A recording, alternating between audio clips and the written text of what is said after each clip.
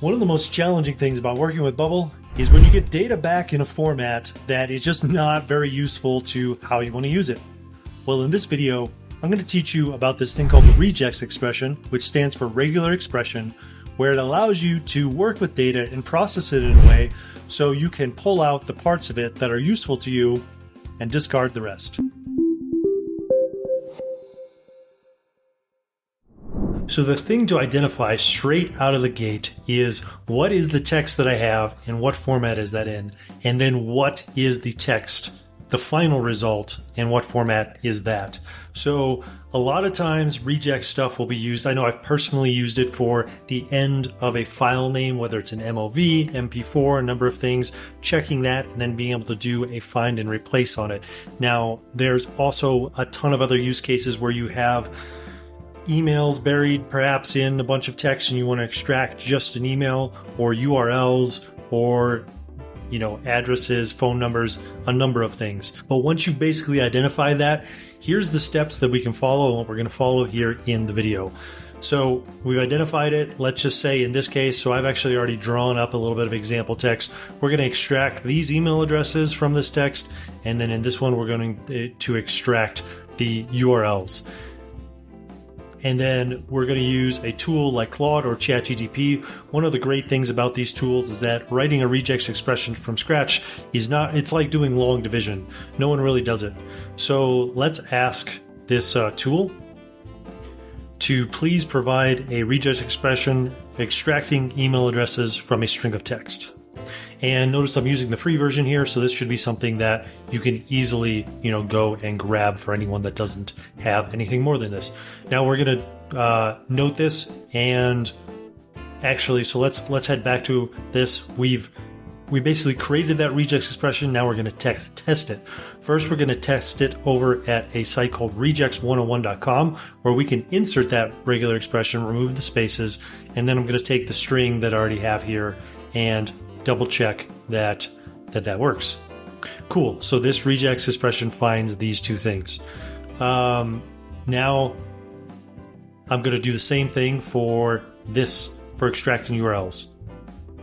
And so just having it come back with that, where we'll do the same exact thing. We'll copy this, paste it over here. And for anyone, you know, who hasn't actually set one of these up in Bubble, this is uh, what where the magic happens, I suppose, and where you get to see this. Okay, so we actually have four of these. Amazing. So we're gonna head over to a a UI here that's pre-set up where there are no workflows and let's take a look at our UI. There's, I will note that we've got a little bit of a leg up here where we get result back one, result back two. These are just single text fields. And why don't we go ahead and add some for list as well, and we'll just show that off. Okay, so I've created result back list text one, and then we'll do that again for text or list two of text. And so we'll play around with this, and you'll get to see uh, all of this kind of uh, done.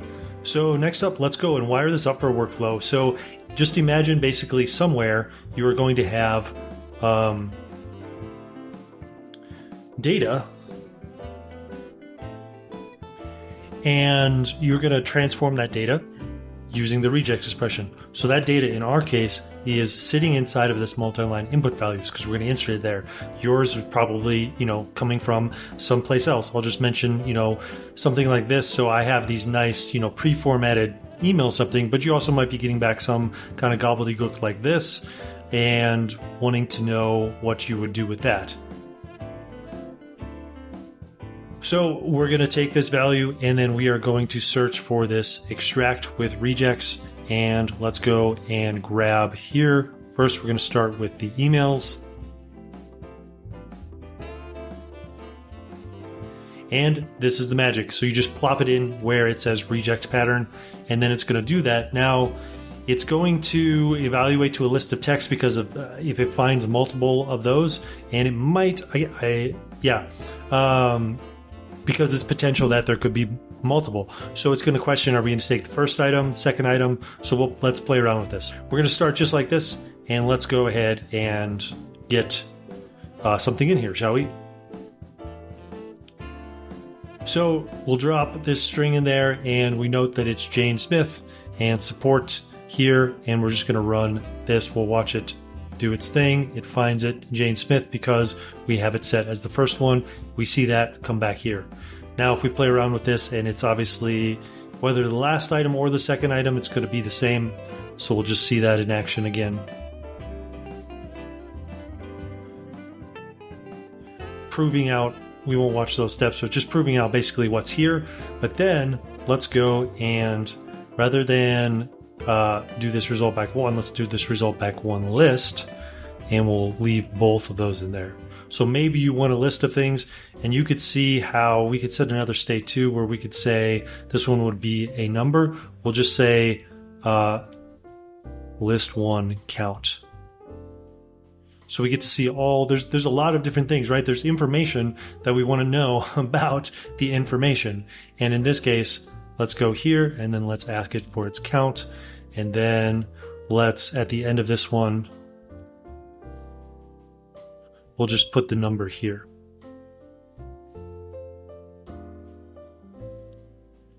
For this list count. So we'll grab that and drop it in here. And let's see, did we set up that right? It's actually in the UI. That is set up correctly. It's this one here. It's not the result back, it's the result back list. Cool. So Boom. So we can see that it found this one and it found this one. Now, let's jump on to our final example here with the URLs where we get to see this kind of multiple ways and it just proves out what's really going on here. So we're going to enter this in here and we'll go now and use the same state setter.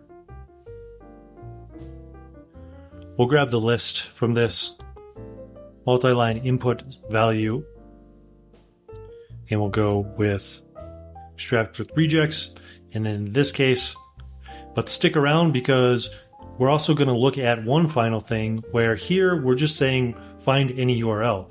But maybe there's a particular case where you actually want to find one specific, like URLs from a specific domain. So we're, we're bringing this list 2 back. Let's make sure that our UI reflects that. So it's not the result 2, but it says list 2. And we'll run that. So we can see one, two, three, four of these were found. Cool. And since there was nothing in multi-input line here, nothing came back there. But let's pretend that we want to find only something from example.org. So the the key here is just being very specific about you know what it is that you got going on, just using natural language for it to understand you, and then you can take its stuff and work with it.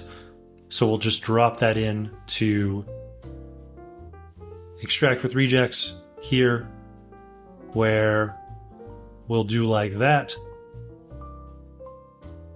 We'll go again with this, only with the second one, and we'll wrap it up here and show off that. And actually, this is pretty great that it didn't work out the first time because you might have the same problem when you're working with this. One of the things it's doing is it's looking for the www, well, with or without, but we also want to make it sure that it can handle subdomains. So we'll just give it that and see what it says. So there, here we had this www. Here we don't. So obviously, again, the the AI in this case is just a tool that allows you to accomplish what you want. It still doesn't know enough to know what you want, and that's why you know humans will always be useful in scenarios like this because we're the ones determining at some level what it is that we want out of the thing that we are building as the uh, creator. So let's run this again. And then we can see here that it got this one now. So just a little bit of a tweak there, which is great because, you know, that type of thing is going to come up, especially if you are trying to get at stuff super, super specific. If you like this video, then you'll also really like the one about ScrapingBee, which is about scraping a URL from another website, because that is great data if you're going to pull something in and you're going to extract some stuff from it. There's a lot of amazing things that you could be building with combining tools and techniques like this. And if you would also like to just go straight to your use case, if you already know your uh, what you're going to do, if you have a URL or an email address, phone number, date, or something like that, IP address, then feel free to grab one of these pre-made ones that's just hanging out in the video description below. If you enjoyed this video, it means so much if you give it a like, subscribe for more great tips about Bubble, and thanks so much for watching.